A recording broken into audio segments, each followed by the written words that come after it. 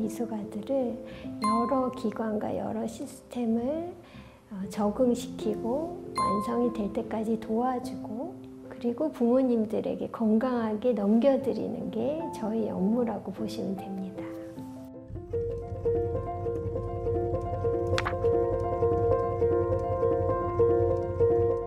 안녕하세요. 어, 소아청소년과 신생아분과 이주영입니다. 만나 뵙게 돼서 반갑습니다. 어, 이른둥이는 임신 기간 37주 만삭을 못 채우고 나온 어, 조사나 그리고 이제 체중이 2.5kg가 안 되게 태어난 저체중아를 다 합쳐서 어, 순 한국말로 이른둥이라고 얘기하고 있습니다.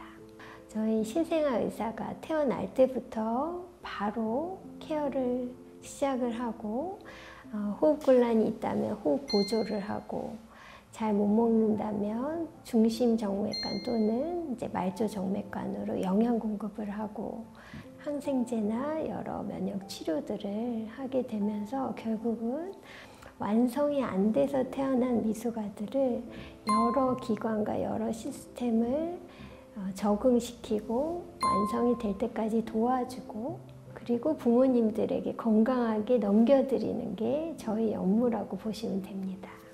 어, 사실 아주 일찍 태어나는 아이들에서부터 살짝 일찍 태어난 아이들까지 다양하기 때문에 예를 들어서 우리가 이제 37주 만삭보다 한 3개월 일찍 태어나는 23주, 24주 이런 아이들은 거의 3개월 넘게 100일 잔치까지 하고 퇴원을 하기도 하고요.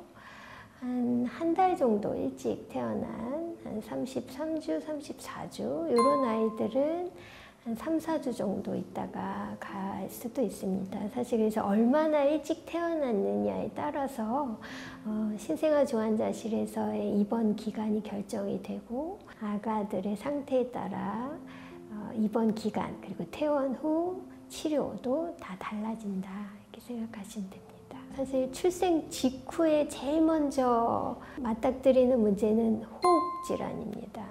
폐포가 완성이 안 됐고 계면활성제라고 폐포를 펼 수 있는 물질이 거의 없는 상태로 태어나기 때문에 미숙아를 낳을 수 있는 산모들에게 폐포를 좀 성숙시키는 주사를 맞기도 하지만 그거로는 대개는 부족해서 출생 직후에 저희가 계면활성제를 기도 안으로 투여를 하고 인공호흡기 또는 이제 코나 어, 마스크로 여러 호흡 보조를 하게 됩니다. 그게 제일 먼저 이제 위중한 질환인데 대부분은 저희 도움으로 많이들 회복을 합니다.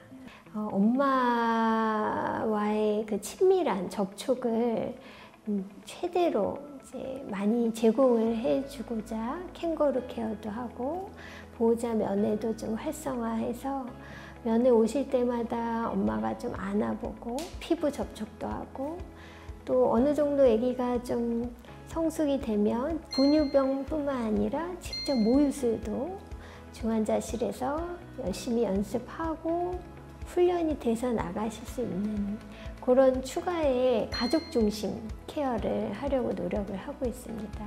퇴원 이후에도 저희 담당 코디네이터를 두어서 지속적으로 외래 추적 관찰을 할 수 있게 외래도 맞춰드리고 음, 궁금한 게 있으면 연락을 할 수 있는 통로 카카오톡 채널도 만들어놔서 좀 안심하실 수 있게 언제든 그기를 물어보고 필요하면 또 코디네이터 선생님 저한테 물어볼 수 있게 그런 추가의 또 어, 서비스를 해드리고 있습니다. 사실 한 명한 명이 다 기억이 나요.